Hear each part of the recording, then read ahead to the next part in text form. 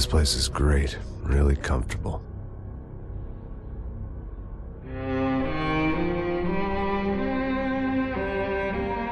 I'm just gonna get settled in. Time to move on. Get on with my life. Yes, absolutely.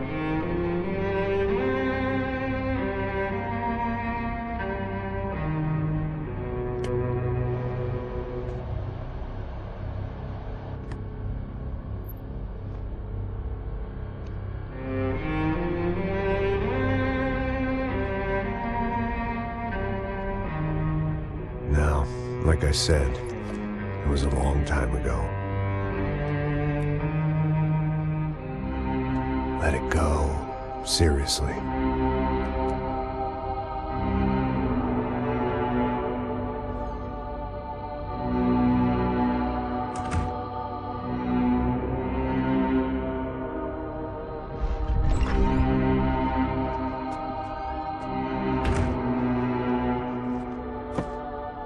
Definitely more my style than Panama. Or Hoboken, I guess. No, if I'm honest, I just got kind of bored of boozing. I mean, once in a while, but not all the time. You're right.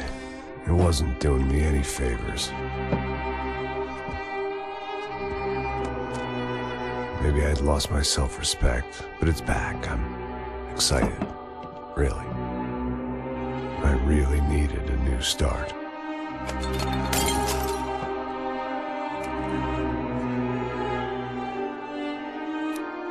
I think you're right. I think I am gonna like it here. It certainly...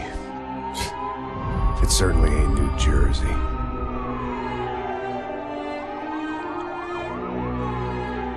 It's my new life, just like you said.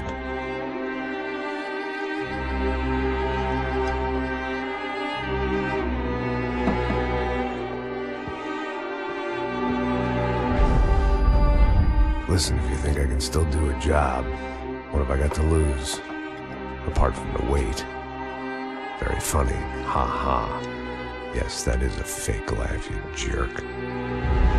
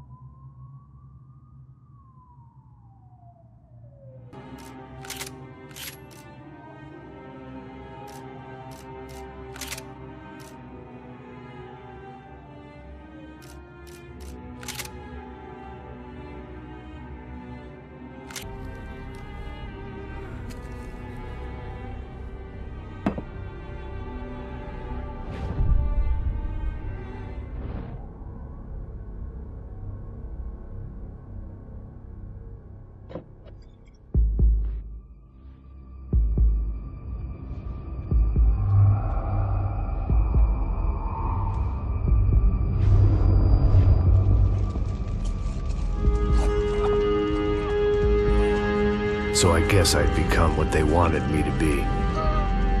A killer. Some rent-a-clown with a gun who puts holes in other bad guys. Well, that's what they had paid for, so in the end, that's what they got. Say what you want about Americans, but we understand capitalism. You buy yourself a product and you get what you pay for. And these chumps had paid for some angry gringo without the sensibilities to know right from wrong. Here I was about to execute this poor bastard like some dime store angel of death. And I realized they were correct. I wouldn't know right from wrong if one of them was helping the poor and the other was banging my sister.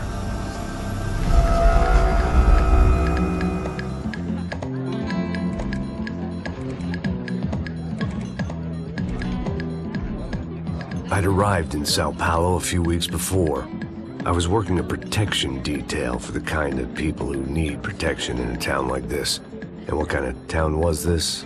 One where I didn't speak the language and they didn't water down their drinks. So for now, we seemed to get along just fine. Of course, that was about to change. Hey, brother. Hey, How's the cocktail? it's scotch. I never mix my drinks. Well, at least not on duty. Something like that. Man, that favela is big. Yep. Nothing like the view of extreme poverty to make a penthouse cocktail party really swing. I guess they call it trickle-down economics. That's funny. It's supposed to be a charity thing. Drink and give money. I don't know, something for the kids. Hey, listen, man. We better look lively. This place is a nightmare. They just got cowboys running security downstairs, something rotten in the air. That didn't mean much. There was always something rotten in the air. The family we were protecting were local celebrities, rich parasites with delusions of humanity. The kind of people who end up in glossy magazines or body bags, depending on how their luck runs. So where are they all? I see Rodrigo over there talking to that guy. Yeah, I don't know him. That guy next to him. He's some kind of cop. Ah, I think, I'm not sure. Serious, though. Big end cop, anti-gang sort of thing. I can't remember his name. So who's this guy?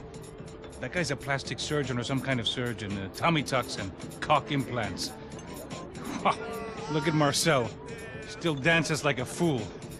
Guess that's what a European education and a coke habit will do for Ricky Martin look-alike. That's very funny, Max. Oh, excuse me.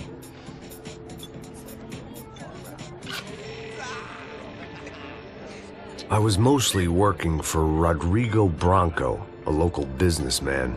Built things, did some charity, had things named after him, won awards, owned things, people. One of the trophies he had won was his wife, Fabiana. She was hot and wanted to be dangerous. Some good genes trying to fight their way out of a cesspit. She'd married well and was now at leisure to regret her good fortune. They got along as well as any rich workaholic and his younger airhead wife tend to get along. They mostly ignored each other. She spent a lot of time with his cokehead younger brother, Marcelo. He was a good time guy if your idea of a good time was an expensive suit, a bottle of champagne, and nothing between the ears. The middle brother, Victor, had just walked in. He was a local politician. Guy was smoother than an oil slick on an iceberg and about as toxic. The rest of the crowd, I didn't know, but I could imagine the types. People who know if they drink enough, they won't have to feel guilty about their good fortune. Suddenly, things turned real ugly. Felt like our hangovers arrived right on cue.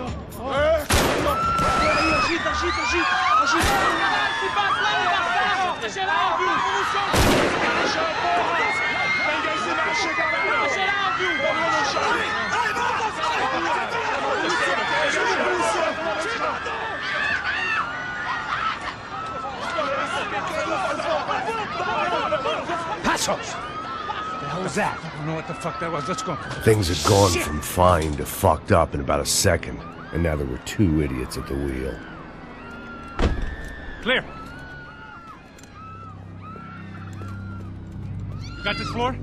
Sure. All right, look after yourself, bro. Stay safe. It wasn't my own safety I was concerned about, trophy wife or not.